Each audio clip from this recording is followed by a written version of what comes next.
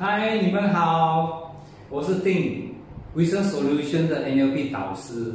那么今天非常的开心，又再一次来跟大家来分享 NLP 里面的一些的技巧和它的原理在哪里，然后它如何的帮助我们。那么有没有有时候我们在身边的朋友，或者是包括你自己，有时候呢你是处于一个非常主动的一个位置，不管身边发生什么事情，你都是很正能量的，非常正面的。看事情你懂得去从一个很好的角度，然后呢你。一件事情发生过后呢，你就会用一个很好的方法去解决它。但是有时候我们却是相反的，我们会埋怨，然后我们会把我们自己放在一个属于一个受害者的角度。我觉得今天我被人家欺负了，因为别人做一些事情让我今天感觉到不开心了。我们有没有这样的状况出现？那么，其实这个状况在我们 NLP 的角度，或者在心理学那一方面是非常的重要。因为我要跟大家分享一件事情，是叫做因跟果，原因的因跟一个果。那么，通常有时候我们讲这一句话的时候，它好像是那个嗯佛教的思想。那其实在这里这里的想法呢，并不是那个。啊，佛教的因跟果，那么它当然它也是类似，中间这个那个 VS 就是一个对比，一个对比，英文里面是一个对比的意思。那么它的意思是讲，我们现在的状况是处于在因，还是我们是处于在果？在果的那一方面，很多时候当我们处于在果，那么我们就会在那个在那个状态之下呢，我们寻找很多的理由。我今天我做不到某件事情，因为我有很多理由。那么我也是属于一个受害者。受害者的心态。那为什么今天我没有办法去跑步、去运动、去打我喜欢打的羽毛球？啊，今天是星期四。那每一个星期四呢，我就会跟我的朋友他们一起打羽球。那么我已经没有打五十多天了。那么我可以不可以去埋怨？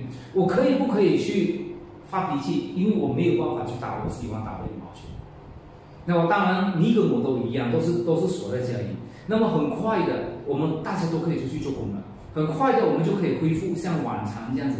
我们的生活如何？我们就开始做我们喜欢做的东西了。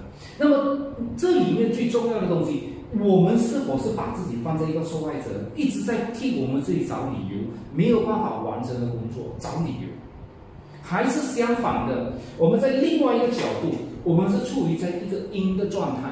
这个阴的状态，Stephen Covey 讲七个最呃有效率的人的习惯的生活呢，它其中一个，第一个是说我们要主动，我们主动于是属于比较正面的一个解决方法。我们就在想，假如我在 MCU 的这时间里面，我没办法打羽球，那么我没办法跑步，我没办法去做健身，那么我要做什么？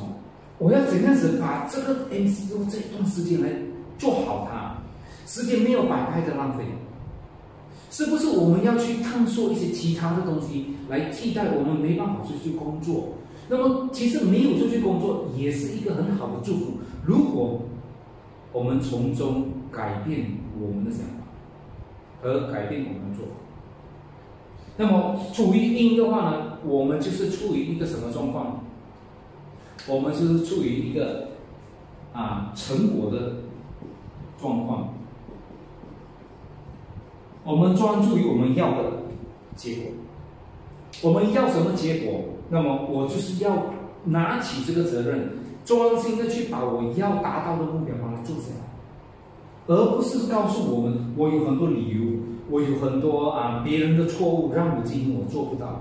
那么，当我们明白这样子的一个一个因跟果对比的一个心理的数啊知识来说，我们可以应用在我们生活中的一个层面，包括我们是在做生活啊，读书也好，工作也好，甚至在家庭啊哪里的层面都好，我们都可以知道这一场球我打得不好是什么问题，我如何要改进。如果用这样的想法去看那些。一场打球失败的状况，那么其实我们就是在一个因，我们就在寻找我们如何去变得更好那一种的状态当中，而不是在埋怨埋怨我要他呢，我叫你刚才杀球，你又不要杀球，你你又拿来放球，那前面的那个网要挑远，了为什么你要来放前面？这样这做一种的状况。其实就造成更多的误会，更多的没有用的一个果效。如果再这样子一直在埋怨我们的埋怨我们的那个打球的伴侣伙伴，然后下一场球我们如何打？等一下出来见面的时候就彼此的埋怨，然后见到面就是脸黑黑，没有意思的嘛。那么我们可以看在打羽毛球里面，很多或者是其他球类运动是需要一个团队的，和谐是非常的重要。两个人之间的默契是非常的重要。那么这样的一个解释，把这个因和果的解释解释出来给你们听了，那么我相信你们也会有不同的见解。那当然今天也是未赛节，那么我就祝福普天下啊信奉佛教的人未赛节快乐。那么希望大家都健健康康、和和平平，那么世界也更加的和平和健康。那么今天我先跟大家分享这个因果。啊，是从 NLP 心理学的角度来替大家解释我们如何应用在我们的生活的层面。那么非常谢谢你们，谢谢你们一直以来都在听我的视频。那么我相信这个视频一路啊呃做下去，一定会让你们从中得到许多的帮助。谢谢你们，我是定 NLP 的导师，Vision Solutions。